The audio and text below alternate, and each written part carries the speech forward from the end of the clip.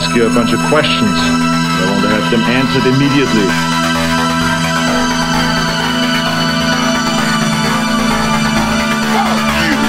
I've got news for you. You are mine now. You belong to me.